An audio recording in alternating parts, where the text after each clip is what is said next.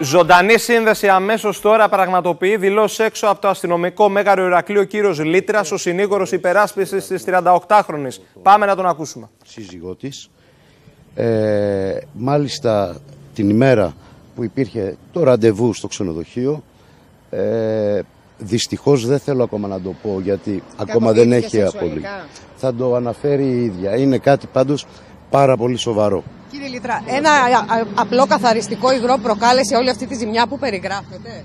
Δεν ξέρω πραγματικά τι ζημιά έχει προκληθεί. Εγώ αυτό που γνωρίζω είναι ότι μιλάμε για ένα καθαριστικό.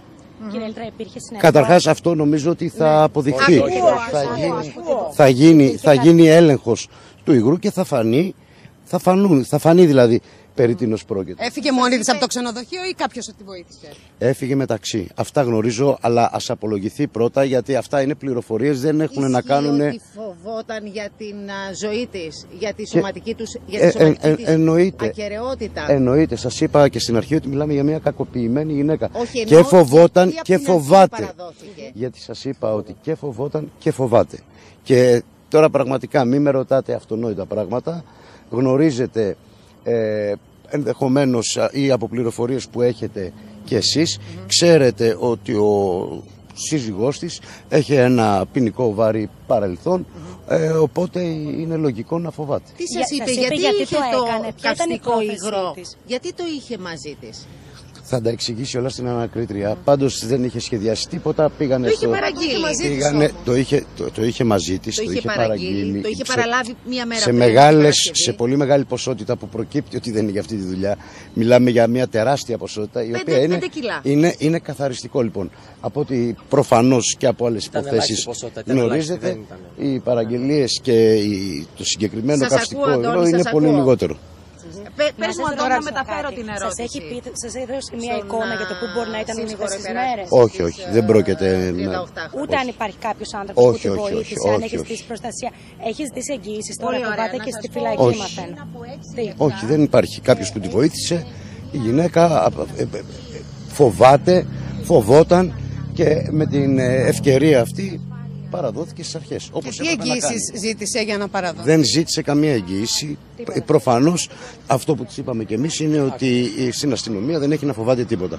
Και αυτό που μας ενδιέφερε εμάς ήταν να υπάρξει μια ομαλή ε, παράδοση, όπως το είπα. Προέχει η σωματική της ακαιρεότητα. Αυτό μας ενδιέφερε και μας ενδιέφερε ε, ε, να γίνει η δουλειά όπως έπρεπε να γίνει σωστά. Από εκεί και πέρα δεν έχω να προσθέσω κάτι άλλο. Με κάλυψε ο προλαλήσαντα. Λίγο τη διαδικασία για αύριο.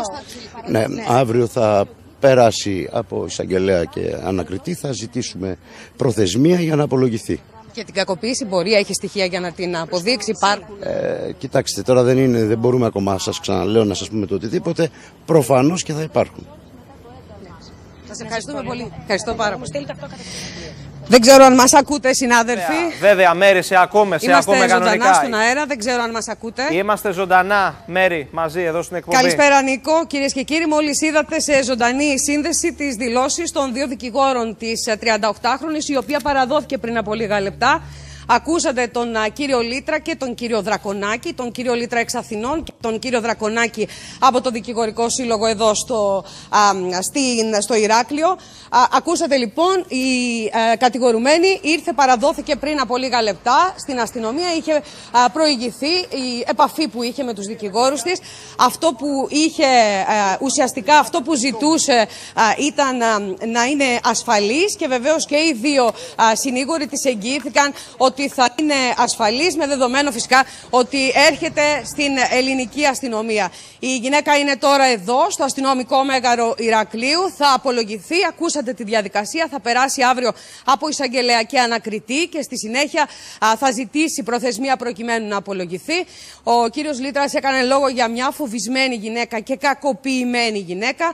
Ο ίδιος αντέκρουσε κάθε, α, κάθε ε, αιτίαση σχετικά με το υγρό το οποίο α, φέρεται να έριξε στο πρόσωπο του 36χρονου ενδιαστάση συζύγου της. Ο ίδιος λέει ότι πρόκειται για ένα καθαριστικό υγρό και όχι για ένα βιτριόλι, ένα καυστικό υγρό από αυτά που έχουν κυκλοφορήσει τις προηγούμενες ημέρες.